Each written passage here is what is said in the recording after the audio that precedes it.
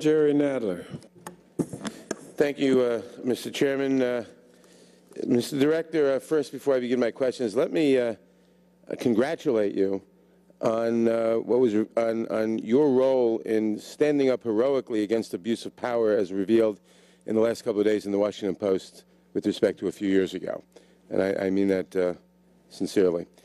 Now, I want to talk from, uh, ask a couple of questions about the anthrax investigation. Now, the FBI has said that um, uh, essentially that this fellow Ivins apparently uh, was the culprit, and he is, uh, of course, deceased. Now, in understanding the bottom line of the Bureau's investigation and, and how accurate we can take it to be, it's important to understand the actual nature of the murder weapon, that is, the anthrax that was sent through the mails. Scientists at the U.S. Armed Forces Institute of Pathology who examined the powder contained in the letter to Senator Daschle's office uh, said it contained silica. Now, uh, some observers say the silica may have been a sophisticated additive designed to make the powder a more deadly killer. Now, this additive requires special expertise to apply to anthrax spores, an expertise that, according to his former boss at USAMRIID, the chief suspect, Mr. Ivins, simply did not have. Now, a briefing last month convened by the Justice Department to lay out details of its case, government scientists said the powders in the attacks contained no additives, only some silicon, which they described as naturally occurring. Now, scientists say that a percentage of silicon higher than half of 1% has never been recorded in the scientific literature as naturally occurring. So if that percentage is higher than half of 1%, it would in, be indicated that it was not natural, that it was added by a sophisticated uh, operator. So for the record, I want to ask you, what was the percentage of weight of the silicon in the powders that your experts examined?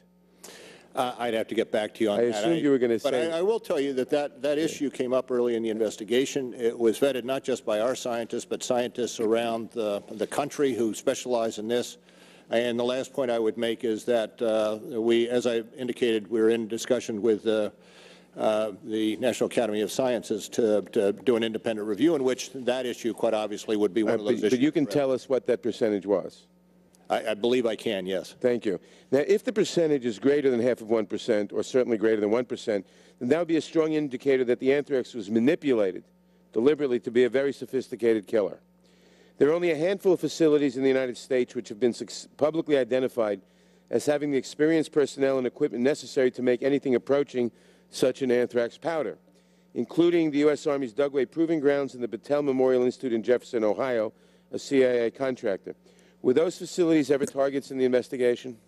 Uh, we, uh, uh, using target is somewhat a weighted word in terms Well, of. they ever looked in at? terms of, in terms of uh, what we looked at in the course of the investigation, you can assume that we looked at every laboratory in the United States and several overseas that had uh, both uh, the, the type of the Ames anthrax that we found in this case, but also had individuals capable of, uh, of uh, undertaking uh, the, the drying and preparing of the anthrax Well, if, if and, and the addition of the silica, if that's if, if that proves to be the case.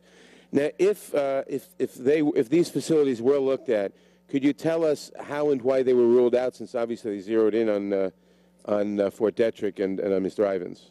I, I would have to uh, um, get back to you on uh, individual facilities. Uh, I would think, as you're well aware, that uh, over a period of time, uh, we uh, developed a, a, uh, the genetic uh, uh, morphology of the anthrax uh, used in the letters, and uh, which was relatively unique, having four separate distinct genetic markers. And that led to identifying the vial that was labeled RM, RMR 1029 and was found in uh, Dr. Ivins' laboratory. And so there was a clear uh, identification of the anthrax in the letters uh, uh, back to uh, being referred or related back to the anthrax that was in the vial in uh, Dr. Ivins' laboratory. And that by in, and of itself would give you one means of eliminating others, although to the extent that there was anthrax that had been distributed from that vial, we traced all of that anthrax and uh, eliminated any other persons who may have had access or utilized that access as a suspect, which has been part. Fi- Final question. Do you agree, uh, as many have suggested, that there may be a need for an independent review of the evidence, especially given that bioforensics is such a new field? And would the Bureau cooperate with such an effort? And what possible downside could there be from such a review if it were, if it were to take place? Well, as I've uh, indicated, that uh, uh, we're in discussions with and are going to request um, the National Academy of Science uh, review the work that was done in uh, the course of this investigation. And and it is an independent review by a panel of scientists that uh, will be pulled together by the National Academy. Uh, Many of the scientists that the National Academy ordinarily would seek to have on a, on a panel are scientists that were already used in the course of the investigation. But as I say, we're, uh, the National uh, Academy is an independent uh, entity and will be conducting a review. Well, thank you, and I just want to say I hope you will get back to us relatively quickly with the weight of the, the percentage of the silica and why the, these other uh, uh, uh, facilities uh, were, were ruled out. We will do so, sir. Thank you. Thank I- you, I Chairman yield back. Adler.